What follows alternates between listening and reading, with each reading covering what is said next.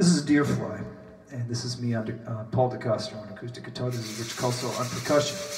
We recorded this once before, and here is a revisiting it. So here we go. One, two, one, two, three, go.